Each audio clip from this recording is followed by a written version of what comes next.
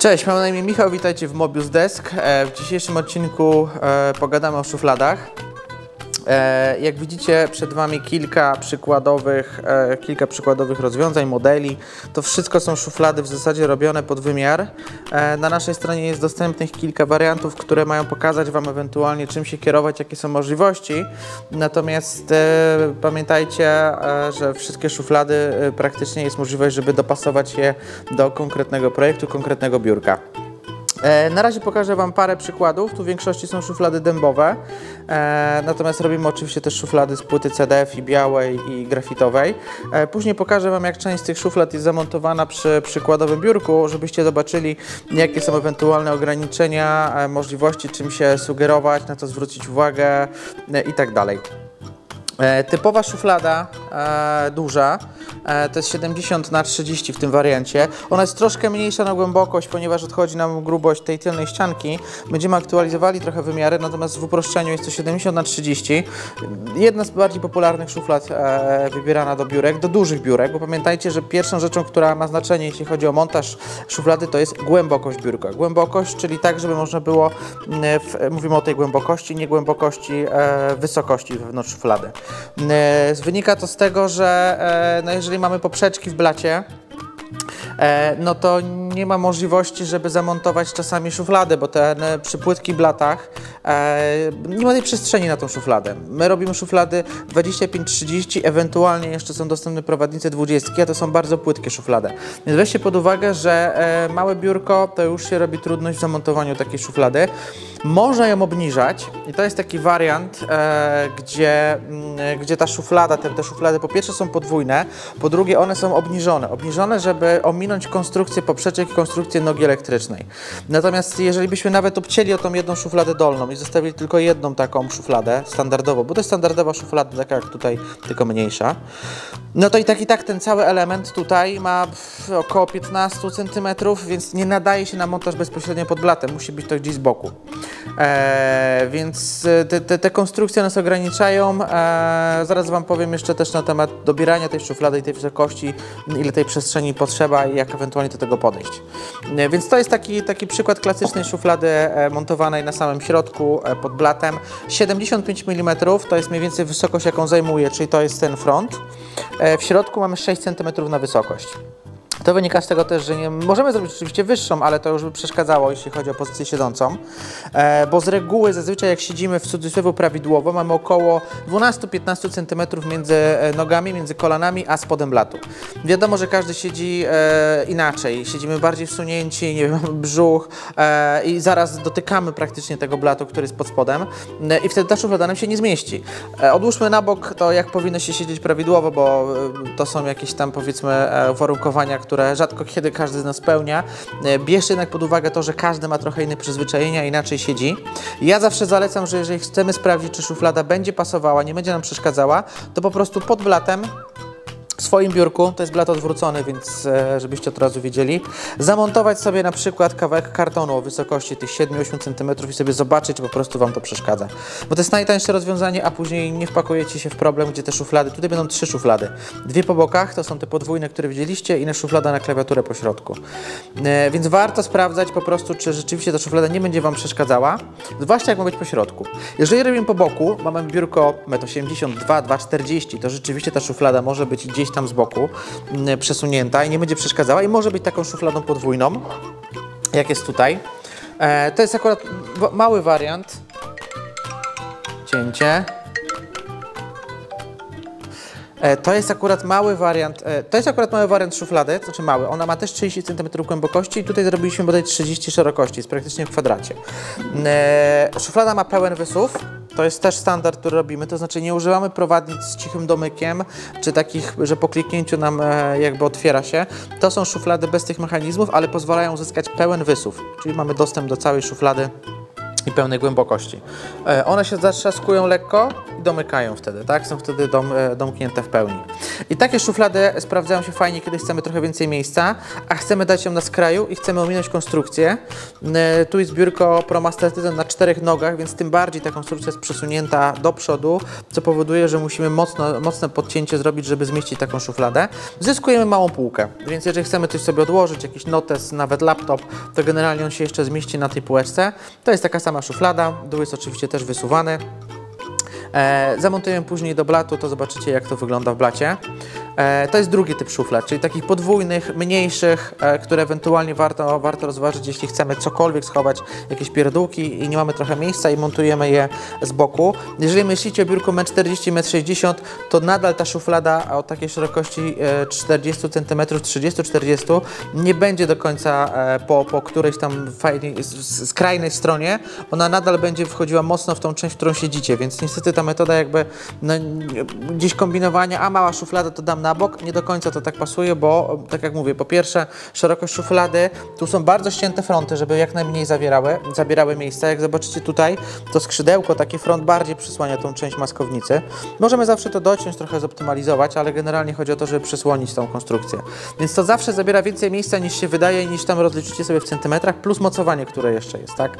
Tak jak wspomniałem, robimy szufladę też z płyty CDF w takim samym typie jak tamte. E, To jest akurat sam korpus e, takiej małej szuflady, e, też podwójnej. E, A czasami robimy niestandardowe szuflady jak te, też malutka szuflada wysuwana. Tutaj pasuje komputer Apple, e, te takie małe, już nie pamiętam jak się nazywają te modele. E, Więc pod laptopa, pod konsolę, pod jakieś małe urządzenia audio, e, pod tego typu rozwiązania można zrobić małą szufladę, można wyciąć otwory w tej szufladzie, żeby była wentylacja. E, W najbliższym czasie będziemy robili jeszcze szufladę na pianino. Zaraz do tego przejdę, jeszcze jeden typ szuflady Wam pokażę. Gdzie tam potrzeba jest zrobić otwory, ponieważ są głośniki od spodu. Szuflada na klawiaturę, to taka klasyczna szuflada, tu jest mała, wąska e, szufladka. E, zawsze sobie optymalizujemy tą wysokość, bo ta szuflada może być nieco niższa. E, zamontujemy później do biurka tą szufladę, to też Wam pokażę. E, no wtedy nie mamy tej zabudowy. Boki są oczywiście, natomiast nie ma z tyłu, e, z przodu zabudowy, mamy pełną powierzchnię, te kable mogą z tyłu schodzić i to się sprawdza, tak jak mówię, na, na klawiaturę, ewentualnie jak macie laptopa i ten laptop jest na przykład komputerem takim ala stacjonarnym, czyli są podpięte kable, zewnętrzny monitor i nie otwieracie go, no to taka szuflada też się świetnie sprawdzi, bo rzadko wyciągacie na przykład tego, tego, tego laptopa, zabieracie go. Możemy też tą szufladę spróbować zrobić odwrotnie, czyli ten laptop był, e, zamontowany był nie w dłuższa krawędź laptopa i dłuższa krawędź biurka, tylko obracamy o 90 stopni. Także jak wysuniecie, to możecie otworzyć sobie tego laptopa i z niego skorzystać. Oczywiście wtedy znów pojawia się problem e, głębokości poprzeczek. Optymalizujemy to poprzez opuszczenie szuflady, tak jak, tak jak są te małe szuflady tutaj e, zrobione, żeby uzyskać e, tą pełny, pełny wysuw i wtedy możemy dać dłuższe prowadnice, nie ma z tym większego problemu. A zupełnie niestandardową szufladą jest szuflada e, tego typu, e, szuflada nawet, ciężko nazywać to szufladą. E, jest to półka wysuwana na pianino, na pianino, na klawisze, e, na sprzęt muzyczny. Tu mamy biurko 1,80 m, jak się nie mylę. Szuflada jest na tyle duża, żeby pomieściła 1,35 m takie pianino. Biurko jest oczywiście odwrócone, no, nie, nie, nie jesteśmy w stanie zawsze Wam pokazywać wszystko tak, jakby stało e, standardowo. E, dlaczego wspominam o tych szufladach i o tym, że można coś takiego zrobić i czym to się wyróżnia?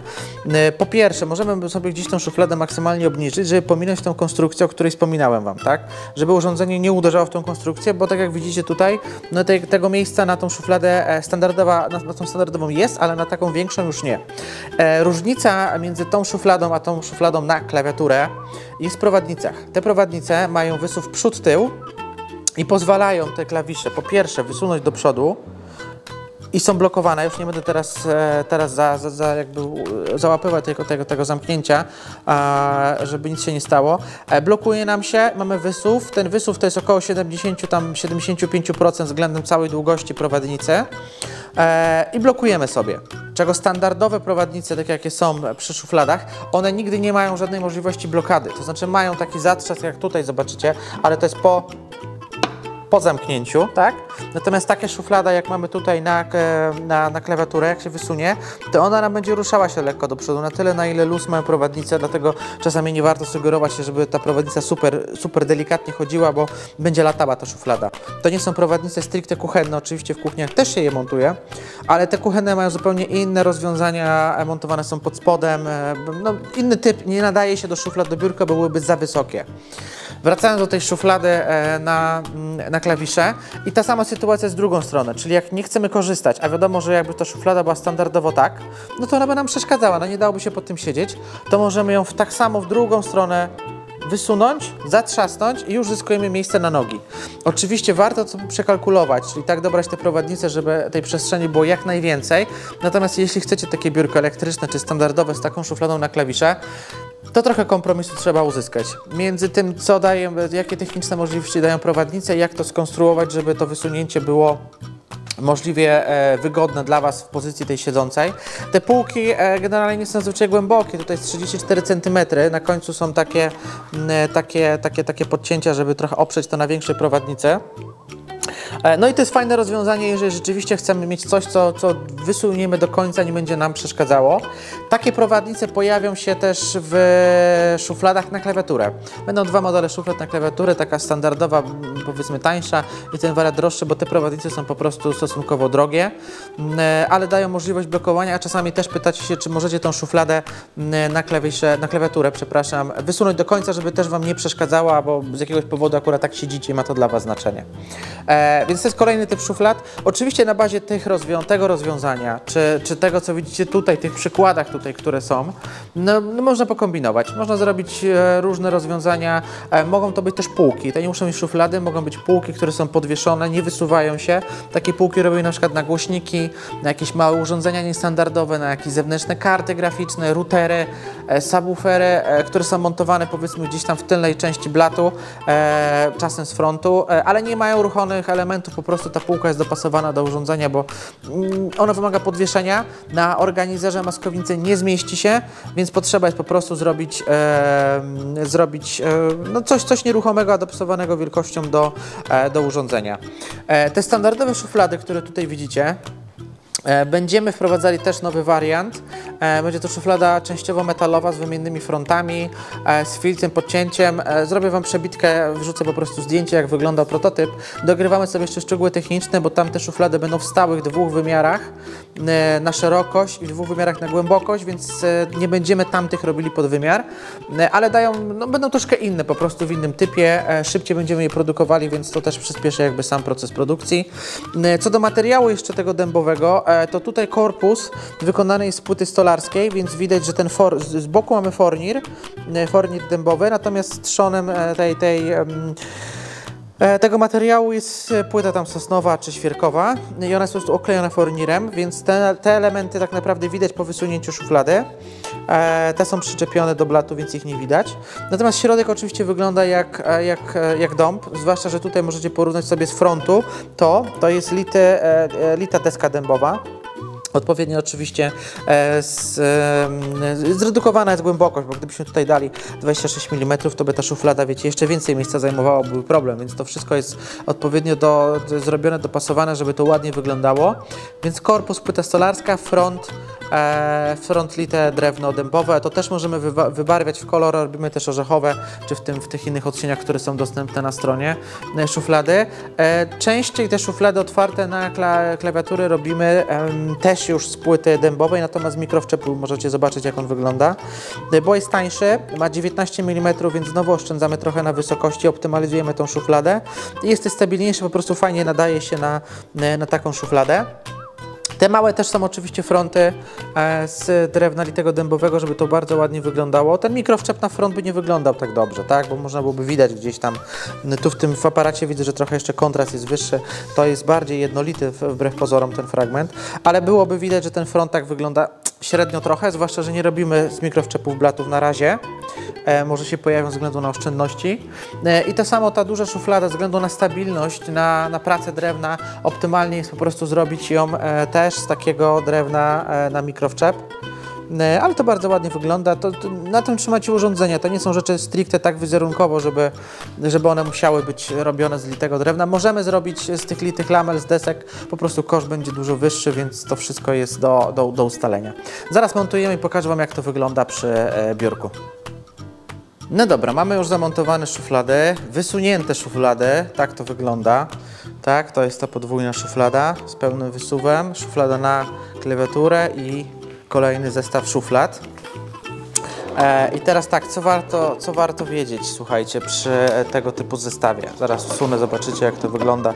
No mniej więcej musicie odwrócić sobie e, monitor do góry nogami, to zobaczycie jak to będzie wyglądało. E, to jest biurko ProMaster Titan, czyli czteronożne.